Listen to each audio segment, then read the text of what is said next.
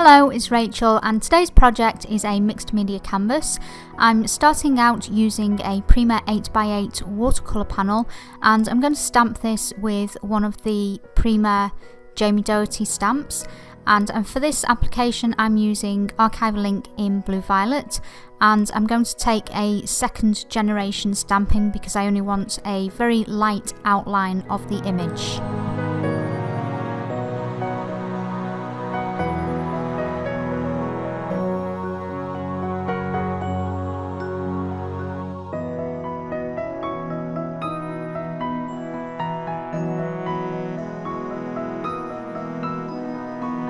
The next thing I'd like to do is add some colour to my image so for this I've chosen the Prima water soluble oil pastels and I'm going to be using these directly onto the canvas and liquefying them with a brush and some water. Um, I did choose the mixed media brushes by Prima for this um, just because at a later time I'm intended to add some acrylic paint as well although equally I could have used the Prima water brushes.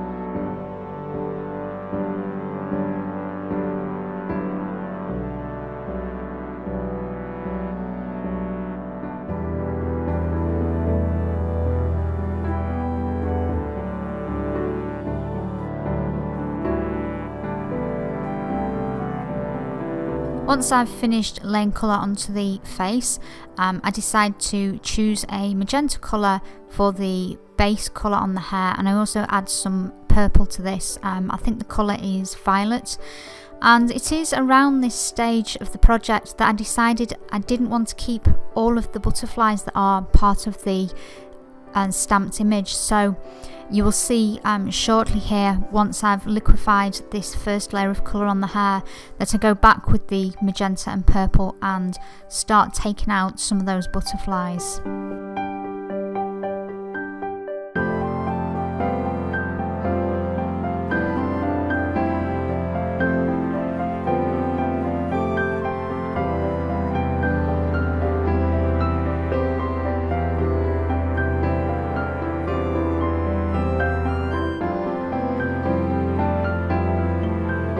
Chosen a blue colour for the background, well two blue colours in actual fact. The first here is the light blue and if you want to use the oil pastels for a background like this and you want it to be really smooth, I wouldn't suggest colouring directly onto a watercolour surface. I would take either take the paint directly from the tip, so use a, a paintbrush to take the colour off, or scribble some of the colour onto a non-stick um, craft mat or a ceramic tile um, and pick up the colour from there. The reason that I'm adding the colour in this way is because once I've liquefied the first layer of colour I'm going to go back with more colour and also use a blending technique that is combined with acrylic paint to get a smooth um, colour application on my background.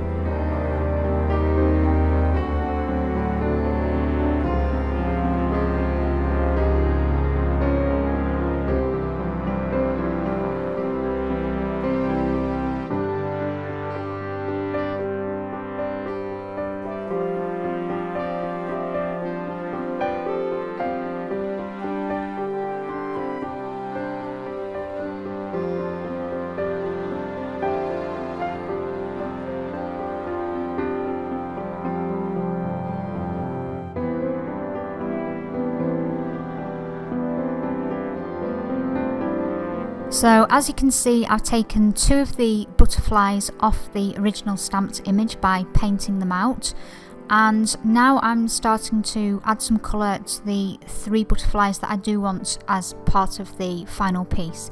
Um, I do change my mind about these colours. I've started off here with um, a yellow, orange and adding magenta to the outer wings of the butterflies. Um, however, I wasn't particularly satisfied with this colour combination against the um, rest of the colours in the piece. So you will see at a later time I paint out the butterflies, I use some gesso over the top and then I recolour them in a combination that I was much happier with.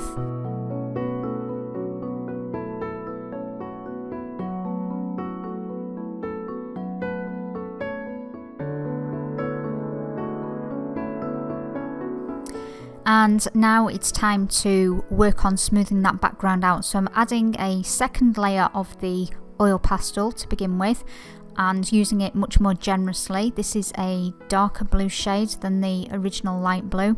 And I'm also combining it with some acrylic paint. This is titanium white by Reeves. And I use this with a little bit of water so it's a bit more glazy and it makes for a really smooth background when you combine it with the oil pastel. And once I've finished adding the white paint onto the background, um, I also add some white paint into other areas of the image. So um, also onto the hair, add some additional colours. Um, it eventually becomes more um, purple and blue. Um, and again once I've painted out the butterflies and recolour those I also add some of the white paint to those and other areas of the piece so I will let you watch the um, rest of the colouring process and get back to you when that is complete.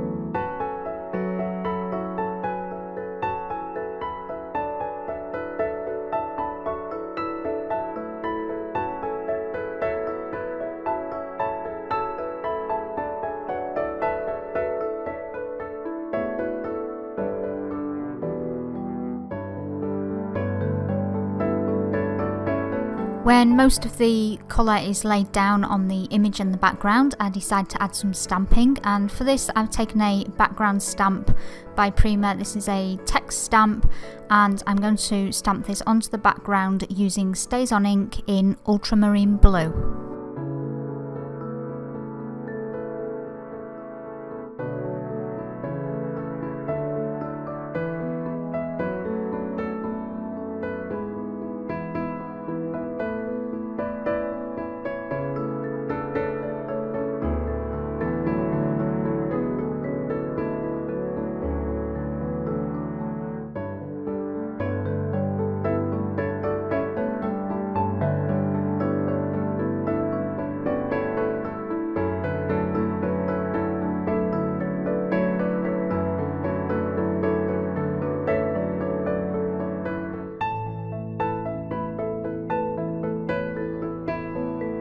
These are Prima's Art Alchemy paints in the metallic lime peel and the metallic green olive and I'm going to use these with a stencil with a star pattern on it to further embellish the background.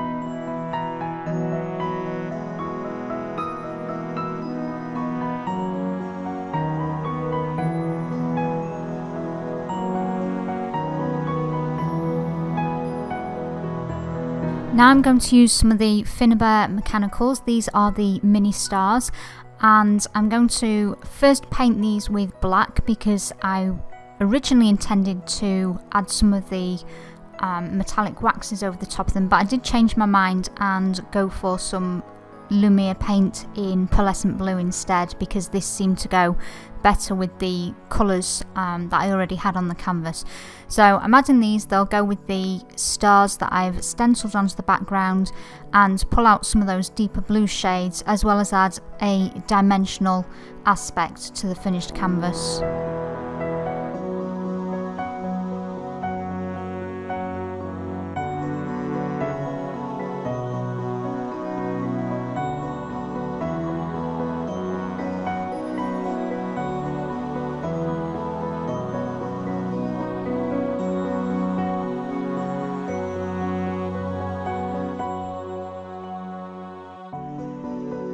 Whilst I'm waiting for the paint on the stars to dry, um, I'm taking an Inktense pencil, this is in violet, and I'm adding back the bodies of the butterflies and the antenna. And I'm using a pencil mostly because it's quite a, a fine, intricate um, place and I needed something quite fine um, to be able to put that detail back in. And then obviously once I liquefy that colour, the um, vibrancy will come through as the name suggests. Inktense pencils have a very high intensity um, of pigment to them. And once I've finished adding the butterfly detail I also use the Inktense pencils to add some further definition to the eyes, the eyebrows and the lips. And then I use a combination of the Inktense pencils with some Prismacolors and also a black micron to add even more detail. So the black micron I use for the pupils of the eyes and um, in other areas on the eyes and then the ink Inktense and the Prismacolors are used mostly on the hair.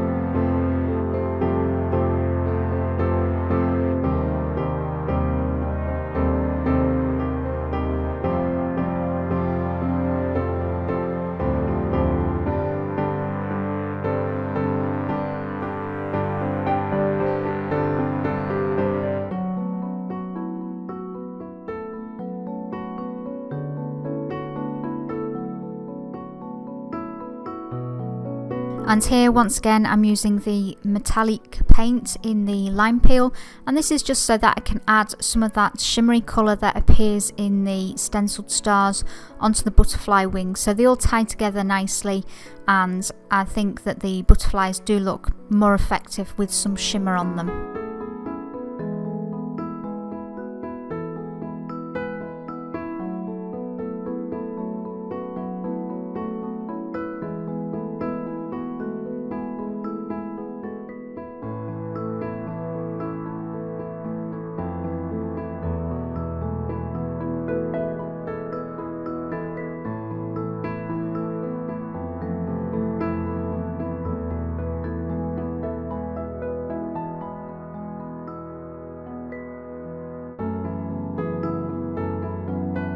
And now it's time to go back to the Finnabair mini stars.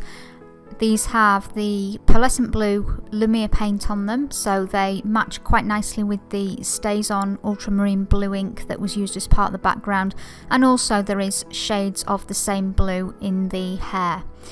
Um, I use some Ranger Glossy Accents to add these to the canvas because it's a fairly strong adhesive and I always feel that this is a reliable way to go when adhering metal pieces. And we're almost at the final stages now. I'm just going back with that metallic paint in the lime peel again and adding a little of that around the eyelids and just underneath the eyes. This will give them a little bit of sparkle and it also ties together those elements so the paint appears on the background on the butterfly wings and also on the girl's eyes. As a final touch now, I'm going to use some Martha Stewart um, stars. These are a translucent iridescent component. I'm using some of the soft gel in gloss to add these to the canvas and I've chosen the gloss instead of the matte because when you've got something that's either shiny or iridescent or metallic if you use a matte adhesive for that then you are going to lose the shine or the shimmer or iridescence and obviously that is not um, something that you want to do if you've chosen to use a particular finish. Very last thing I'm going to add are some of these small sparkly jewels and this is to create a necklace for the girl. Again I'm using the gel medium in the gloss finish. And now all that's left to do is finish off the sides of the canvas, which I did not initially paint um, because I wasn't too sure what colour I wanted these to be in. So I'm using the Lumiere paint in the pearlescent blue, that ties together nicely with the other shades of blue on the canvas and the fact that the metal stars were painted with this colour.